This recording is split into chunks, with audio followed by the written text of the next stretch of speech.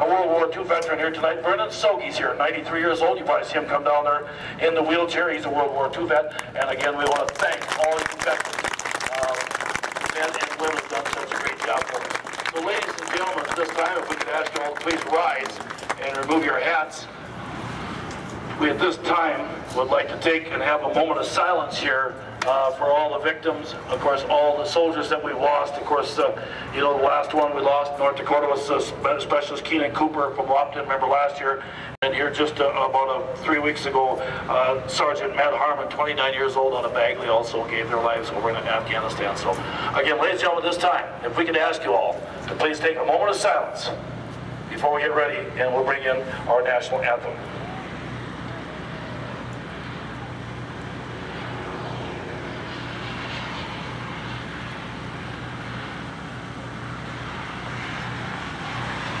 At this time, if we could ask you all to please remain standing as we bring in Star Beckman to sing our national anthem.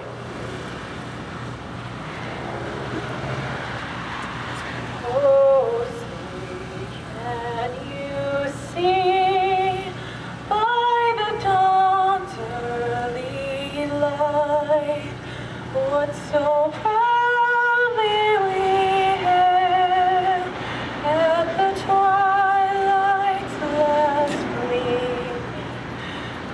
broad stripes and bright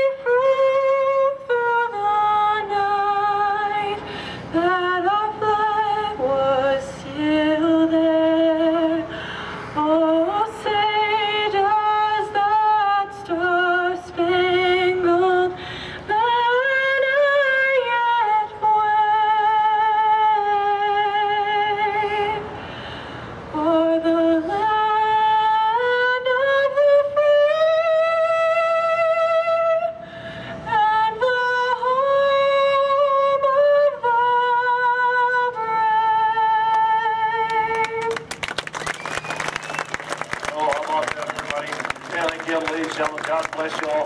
Folks, what do you say? How about a big hand for all the racers and crew members as they stand up around the racetrack? Thank you guys for the great weekend of entertainment and the great summer you've given us again. Ladies and gentlemen, here it is again. We are ready now to move on with night two of the Corn